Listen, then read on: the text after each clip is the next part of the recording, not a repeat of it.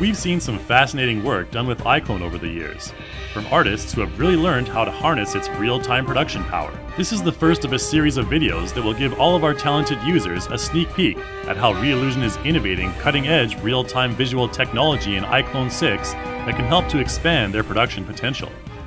The first oh, exciting upcoming feature is real-time surface smoothing, which enhances the appearance of your characters and models by refining jagged edges to give them a more organic shape. Real-time surface smoothing is a technology developed exclusively by Reallusion that enhances the look of everything in your scene without sacrificing system performance. Real-time used to be synonymous with low polygon count, but by utilizing latent resources from your computer's GPU, iClone 6 will be able to enhance polygon count in real time, resulting in smoother and more detailed surface appearance for low poly objects. This technology is also distance adaptive, meaning it will only smooth out objects when they are close to the camera, therefore ensuring the most efficient system performance. Previously, Chuck may have looked a bit rough around the edges, so to speak.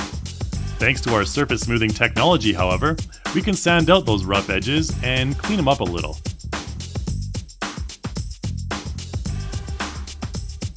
Here's a couple more brilliant examples of the difference this technology can make at close range.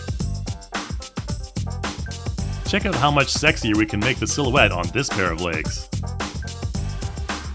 Real-time smoothing can transform low-poly, game-ready characters like this fearsome ogre from Protofactor Studios into characters with a much more smooth and refined appearance.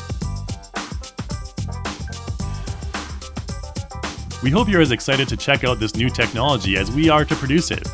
In next month's preview episode, we'll be showing you all about the cool new tessellation technology in iClone 6, so stay tuned.